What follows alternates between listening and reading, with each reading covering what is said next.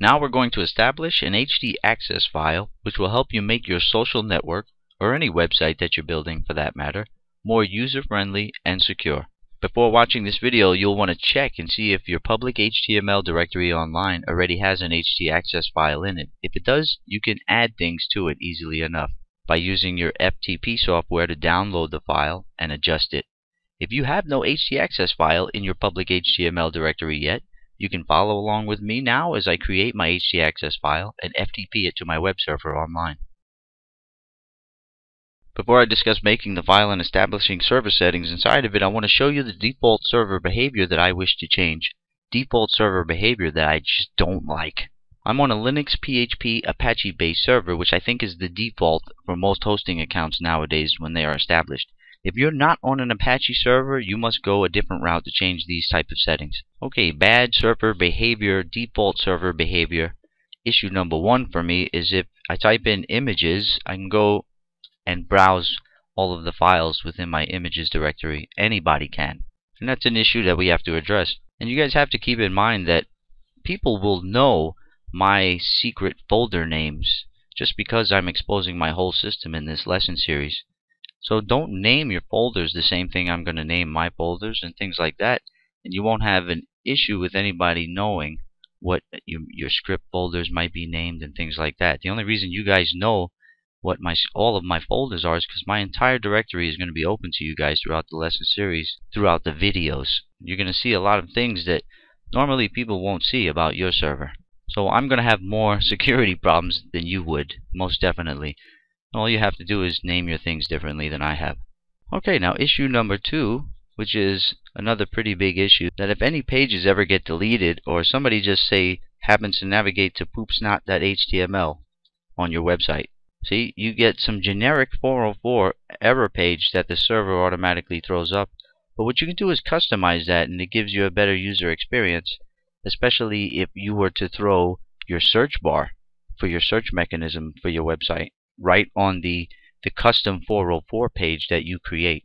And I'll show you how to make the settings to navigate to a custom 404 page when this occurs if somebody navigates to a web address or directory that does not exist on your server.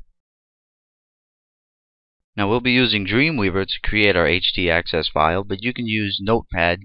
It's pretty much the same procedure. So you go to File, New, and I'll just quickly select HTML and then I'll press Control S to save the file. And down here, I want to go from all documents to all files. Make sure it says all files. And htaccess is a little bit weird in which it has no name in front of it has no file name in front of the dot. You just give it the dot and its extension, which is htaccess. And that's the type of file it is. And save. And so you want to make sure it looks just like this. And if you're in Dreamweaver and happens to be design mode, don't put your code there. Go to code view remove all this default crap the Dreamweaver puts in. Now let's knock out those two issues. All you have to do is set these two lines. Really, the lines with the pound sign in front of them are just comments. All you need is these two lines, 1 and 2. Now what this one does is establishes a custom 404 file not found page. So if your user happens to go to a file that has been deleted by your system, or if they type in some address that doesn't exist on your website, it'll automatically go to filenotfound.php or you can name it whatever the hell you want .html or whatever I don't care. And on that page you can have a search bar for your website. Your search mechanism can be right there you can put some nice message like hey that file wasn't found but would you like to search our website? And that can be on the page the file not found.html or .php that you want to create. Now the next directive is preventing directory file listing in all of your folders. And you can just use index ignore space asterisk and that will work for hiding all files in all of your child folders.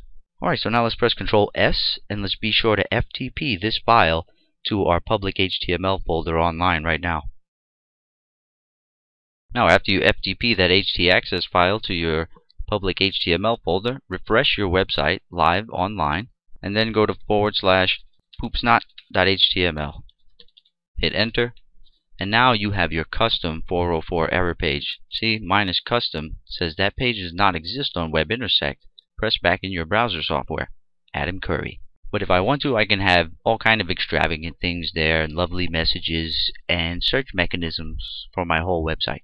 Now let's check out that other issue and see if that's rectified as well. Let's go to images folder forward slash enter and now index of images it shows nothing. Now another tip for you guys is that you can use a, a .php file, an index.php file inside of your images folder or all the folders on your website and what you can do is stick that index.php file in there and have the header function inside of it. Just one line of PHP code inside of it that is the header function and header them back to the main uh, home page of your website. So if anybody happens to go to images and hits enter like this, they'll be instantly navigated, boom, back to your home page. And they won't really know what has happened, but they'll know that they didn't belong wherever they were trying to go. So that's an alternate route that you can go if you don't want to use this uh, htaccess to prevent directory file listing in all of your folders. You can just stick an index.php file in all of those folders that will usher them back to the home page if they happen to try and sneak a peek at the directory listing. Now keep in mind there are a whole lot of htaccess directives that you can put inside of your htaccess file and by the end of my site actually when it goes to running there's more directives that I'm going to want to have in place inside of mine.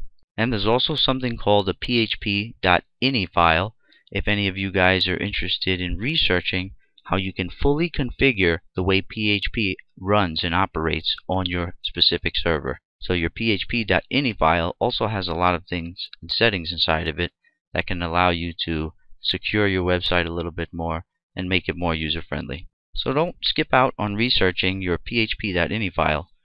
Alright, so that just gives you a little extra blanket of protection and it starts you on your way to understanding all the directives that you can have in place within your htaccess file.